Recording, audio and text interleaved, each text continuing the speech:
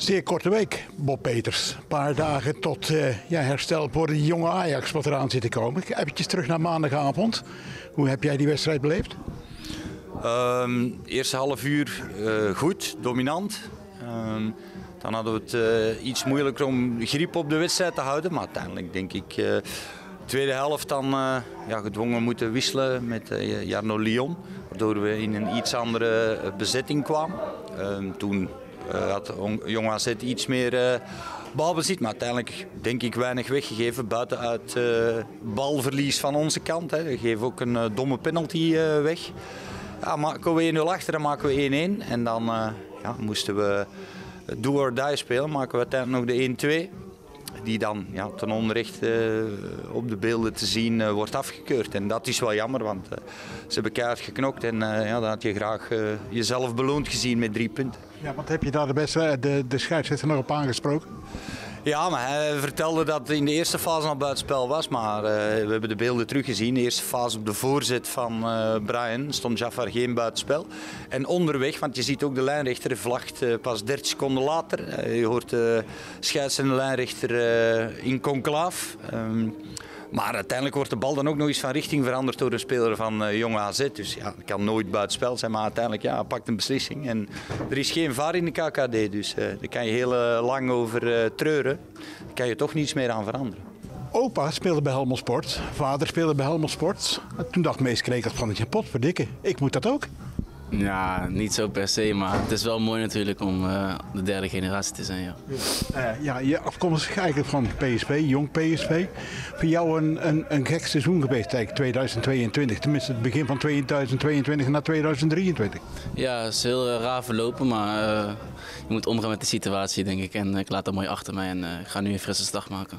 Wanneer kwam de vraag van Helmond Sport of dat je deze kant in wilde komen?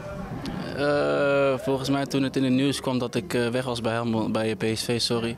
Toen was al een klein beetje uh, interactie met elkaar. Maar het is een lange tijd geduurd, maar eindelijk is het zover. Vrijdagavond Jong Ajax. Toch weer, ook weer zo'n tegenstander die best lastig en snel kan voetballen.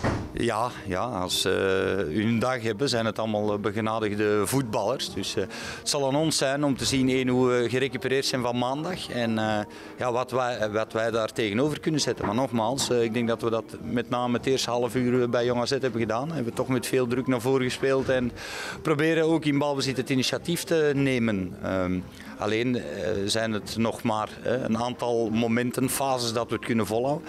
Ja, de betrachting moet zijn dat we dat een langere periode kunnen volhouden. Maar nogmaals, we zijn denk ik op de goede weg. Alleen ja, is het jammer dat je jezelf in die drie wedstrijden niet beloond hebt met minimaal één overwinning. Wat betekent dit nou om te voetballen? Want je moet je kans krijgen. Pak je die dan met twee handen? Want hoe kun je zo'n kans eigenlijk aanpakken om toch in die, ja, die eerste elf te komen? Nee, je moet natuurlijk hard werken. Er wordt heel hard gewerkt hier, dus dat is positief. Je wordt fit.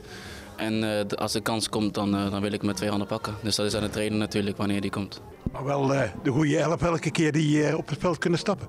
Ja, dat weet ik niet. Wij maken keuzes als staf. En ja, of het de goede keuze is, dat blijkt altijd na de wedstrijd. Dus we zullen zien of we morgen de goede keuzes maken. maar uiteindelijk ja, hebben de jongens die nu de laatste drie wedstrijden met name veel hebben gespeeld, nog niet echt ontgoocheld. Oké, okay, dat er altijd progressie en beterschap moet zijn, is duidelijk. Maar ik uh, praat met name over uh, de, de, intensiteit en uh, de intenties waar we mee willen voetballen. Ik denk dat die duidelijk zijn. En okay, dan ben je als coaches afhankelijk ook van de kwaliteit van de dag. Ga jij zorgen dat Helmond Sport een beetje meer de punten gaat pakken? Want misschien, we hebben het zojuist van de trainer gehoord, punten zijn hard nodig. Punten zijn zeker hard nodig. We staan een beetje onderaan, dus we moeten weer omhoog gaan kijken en een punt gaan pakken. En ik ga er alles voor doen om het team te kunnen helpen daarvoor.